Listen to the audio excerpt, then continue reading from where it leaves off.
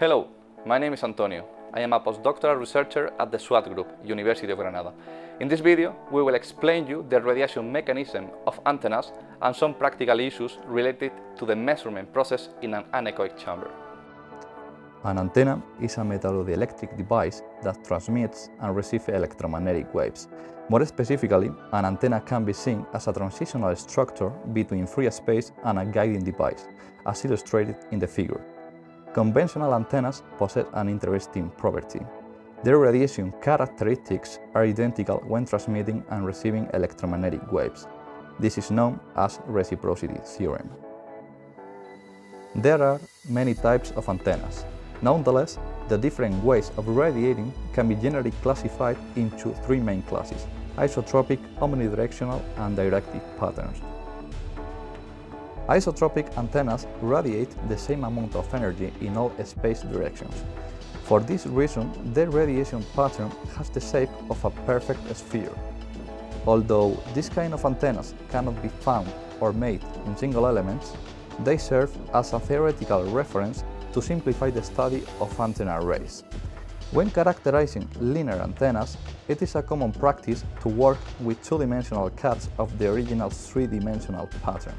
In particular, we normally pay attention to the E and H planes. The E plane contains the direction of the electric field and the direction of the propagating energy. Similarly, the H plane contains the direction of the magnetic field and the direction of the propagating energy. Note that in the case of isotropic antennas, E and H planes are vertical and horizontal cuts of a sphere, so they are perfect circles. Those antennas whose radiation pattern present symmetry of revolution around one of the main axes are classified as omnidirectional. Omnidirectional patterns can be found in wire or cylindrical antennas and in some kind of loops. Here, the energy is radiated equally in all horizontal directions, sharing some similarities in that sense with isotropic patterns. In the case of omnidirectional antennas, the E and H planes are different. The electric field is oriented parallel to the wire antenna. Thus, the E plane corresponds to the vertical plane in this configuration. On the other hand, the magnetic field is perpendicular to the wire, so the H plane corresponds to an horizontal cut of the three-dimensional pattern. Those elements that radiate in a single specific region of space are known as directional or directive antennas. Unlike previous examples, directive antennas do not distribute all the energy equally in all directions, but concentrate it in a specific direction. An example of directive radiating element can be found in Yagi antennas, the kind of antennas placed on rooftops to receive the television signal. To determine how directive an antenna is, a parameter called gain is defined. The greater the gain, the more directive the antenna is. Within the radiation pattern, we can observe a region where the radiation is maximum, the so-called main lobe. The areas of smaller amplitude surrounding the main lobe are the secondary lobes. Secondary and back lobes represent undesired radiation, so they must be minimized in directional antennas. Once the theoretical foundations have been set, now we will continue with a practical example. We are at the measuring facilities of the SWAT group, inside the anechoic chamber. An anechoic chamber is a metallic enclosure coated with microwave absorbers in order to avoid reflections in the metallic walls. In this case, we will try to measure the radiation properties of this kind of horn antenna, a directive antenna widely used in wireless communication systems. This is the equipment we are using in the measurement, a vector network analyzer that can operate from 10 MHz to 67 GHz a calibration kit that will help us to eliminate losses introduced by cables and other elements, a laser to align the antennas, and the transmitting and receiving horn antennas, both identical, that operate from 33 GHz to 50 GHz. Just in the case of working above the maximum frequency of the vector network analyzer, let's say at 100 or 200 GHz, some frequency multipliers will be needed. In the SWAT group, we have frequency multipliers that allow to extend the limit of the measurement up to 300 GHz. These devices will be detailed in the following videos. When measuring the radiation properties in the anechoic chamber, the first step is to check that both transmitting and receiving antennas are perfectly aligned. This is done thanks to the alignment laser available in our facilities.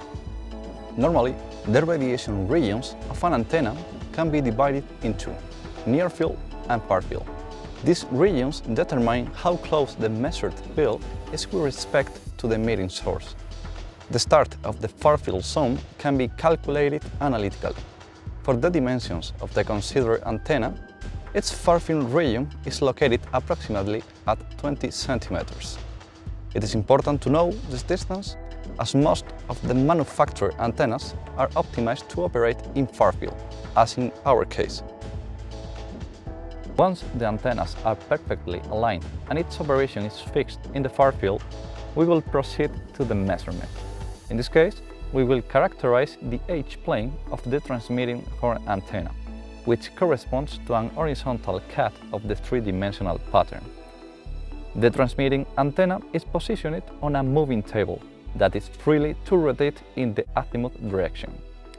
With the help of the vector network analyzer and a processing software, we annotate the amplitude level of the received signal at each azimuth position, ranging from minus 90 to 90 degrees from the center. Thus, we can progressively construct the radiation pattern of the transmitting horn antenna in its H-plane. When two linearly polarized antennas, such as the ones we are using, are rotated 90 degrees from each other, it is expected that zero power is transferred between the antennas. This is known as polarization mismatch.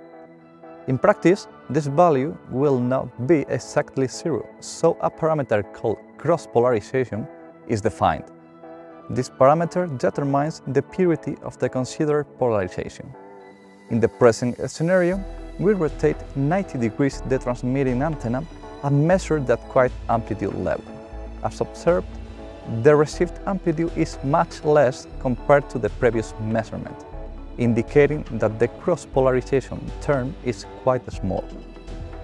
This is a comparison of the measured H-plane at 38 GHz in both copolar and cross-polar components, after post-processing the results. Note that the copolar term corresponds to the case where the antennas are perfectly aligned. It can be observed that the radiation pattern of a horn antenna is directional, one of the three main classes that we defined at the beginning. This means that the horn antenna mainly radiates the energy in a single specific region of space, in this case, in the direction in which the antenna is pointing. By taking a closer look to the blue curve, we can observe the main lobe at 0 degrees and the secondary lobes at 50 and minus 50 degrees. Note that the amplitude of the secondary lobes is much less compared to the main lobe. Furthermore, we have also plotted in the graph the measured value of the cross-polarization term.